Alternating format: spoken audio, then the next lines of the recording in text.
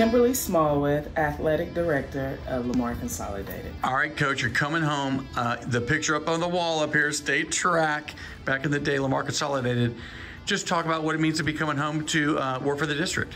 It feels great to come home and support my community and help out and help Coach Gabbert out. You know, just talk about what do you feel like, you know, you're kind of coming off the court as a basketball coach. What are you going to miss the most?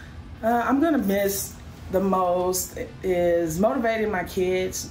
I'm gonna miss my girls that are gonna be graduating next year, but I still stay in touch and go see them play. Moving into admin, what do you think the biggest challenges might be?